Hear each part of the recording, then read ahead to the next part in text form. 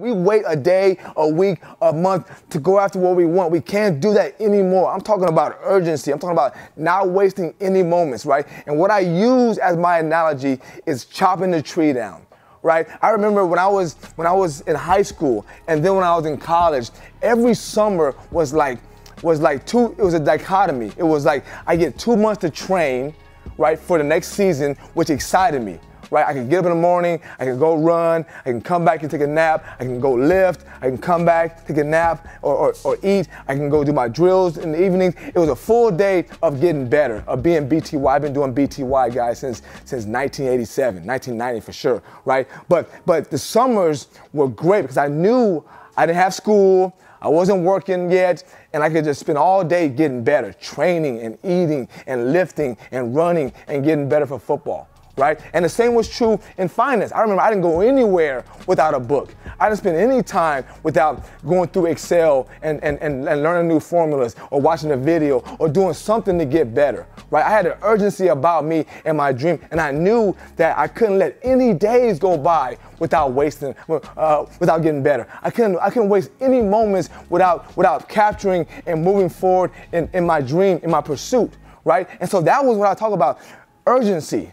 That was the urgency at its fullest. And now, as I get older and I find new dreams and new passions, right, I gotta make sure I apply that same vigor and that same urgency to it, right? I want you guys to do that as well. I want you to imagine that your dream, your goal is a big old tree right? A big old tree. And the bigger the dream, the bigger the goal, the bigger the tree, right? And every day uh, or every three days, whatever you, you, you have time to go after your dream and your goal, you have one, one opportunity to swipe and chop at that dream right? And your and the size of your and the sharpness of your tool might be different, right? I might have an axe, you might have a butter knife, right? Depending on your skill level and where you're at and what you're doing and how far you are. But the opportunity to to sever at that goal, to chop at that goal, to to slice it up a little bit each day is always there. And so we can't waste them because right now you have X number of opportunities between now and and your dream, right? If you're a football player trying to go to college,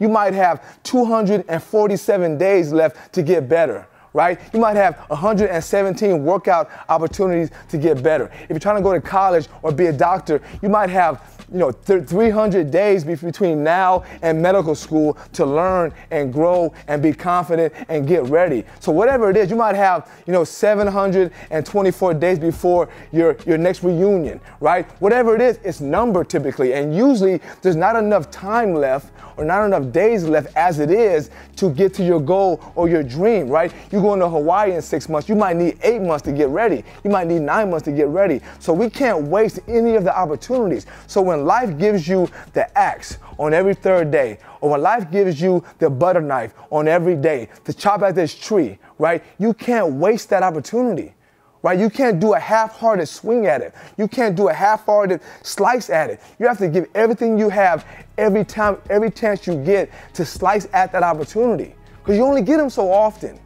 Right? And you already are behind the eight ball. And so every summer, it was a dichotomy because I was so excited about getting ready for the season. Right? But I knew every day that passed by, that was one less day before the season started. And it was a, it was a nervous feeling on day two, really, because I started off with 90 days, and then I had 89, and then I had 88 days. And every day it was an urgency about me that I wanted to get better, and I knew that I couldn't waste a moment. So I want you guys to, to have that same passion about, about your dream, the same urgency about your goal, the same vigor about chasing what you want out of life. And don't let any day go by, right, without grabbing that axe and swinging as hard as you can at that tree. Because the tree is big. I hope it's big. Right? I hope the dream is so big that it scares you, that it, that, that it makes you nervous. But if it's big, right? We can't spend a day, an opportunity when life gives us a, a, an axe and just do a half-hearted swing at it right? And then say, okay, I'll see you again in two days, right? You're trying to lose weight, right? 20 pounds by a certain date, and you have three chances per week to work out. You can't waste the Monday one. You can't waste the Wednesday one. You can't waste the Friday one. Every one of those are integral. Every one of those are, are, are, are important and urgent. Right? Every day you walk towards your dream is urgency. It's a 911 emergency call every single time. Not some of the time, every time. Unless you're almost there, which you're not, None of us are. Right? So attack it with purpose. Attack your dream with urgency and attack it with the passion and the vigor that you and I both know is necessary to make it a reality.